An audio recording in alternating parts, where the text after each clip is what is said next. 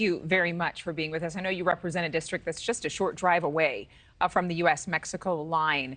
Now that Title 42 has ended, what are you seeing? Do you believe that it's too early for us to talk about a surge? It's too early for us to talk about whether or not it helped or hurt uh, the plight of immigrants and the plight of border towns? Yes, right now we haven't experienced a surge like a lot of uh, people were anticipating. We're seeing the same numbers. We're seeing about, since April, we've actually been seeing about 1,500 to 2,000 migrants crossing a day.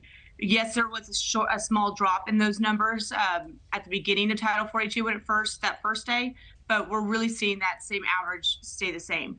But we very much appreciate and needed the additional support that we received once Title 42 stopped we just hope we continue to see that support because we need the efforts of Border Patrol and our state and federal agents in the border towns to help us with this influx of migrants. Though we haven't had a surge, we still have a large number of migrants crossing to come into the United States. Yeah, I think that it's really important to specify because if you see that as an everyday American, you're reading the paper, you're watching TV, you're looking on your phone, it says, oh, there's no surge. Well, you can see it as a victory or as a positive from the Biden administration that all of the help that you're talking about, those resources, did make a difference. You could ask, well, does that mean there are any less people just because there's not a surge? There are still a lot of people crossing over legally, so to speak, going through the ports of entry, and illegally crossing where there are no border agents. What has been the most helpful for you as a, a leader in your community, as someone who is tasked with coming up with solutions? Well, one of the best things is that the participation and the help we've received from our federal agents, from our border patrol, from our local police, from our state officers and agents as well. The open communication they've had, the ability to work together and work with our local officials, because those are the ones that have been dealing with a lot of this influx. Having their presence there help to protect the migrants, make sure that they come across in a safe way so that they get processed immediately, help protect Texan citizens, and when we talk about the migrant crossings, we're not talking about a rush and people running across and just running throughout our neighborhoods. It's being done in a very calm and orderly manner. We have people there to be able to process them. But what we do need is we need more processing centers.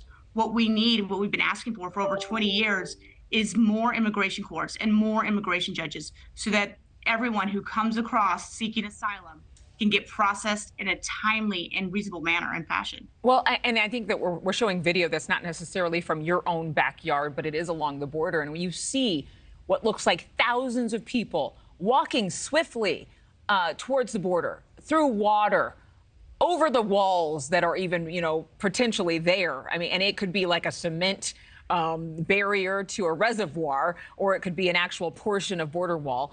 Uh, but for for what people know about this story, what do you think is the most difficult piece to this? Obviously, most Americans are extremely compassionate, but there are just not enough resources to take care of all of these people. I mean, we're showing pictures of just it looks like hundreds of people crossing over. And, and these cities, your towns, towns like the ones in your district, are overwhelmed. They are. When I talk about the 1,500 to 2,000 people a day that are crossing, that's in our small town of Brownsville, Texas it's not a huge area. This is a big problem. This is a big resource that our city and our county takes on to try to support these individuals when they do come in, to be there with resources. They come in without food, water, shelter, and it's up to our cities and our counties and our local charities and non uh, and charity organizations to really try to support these individuals. And that's something that's being ignored uh, from our federal counterparts and our, at our state levels. We need more help in that regard. What, what do you? What do you want in terms of help? I mean, we were told the military was going down there, uh, the Biden administration sending more asylum officers to the border. But then we were told that those military officers were not going to be doing anything in a law enforcement capacity, that they were going to be taking on paperwork, administrative duties, working in warehouses. So, what yes. exactly is needed that's practical and will actually help make a change?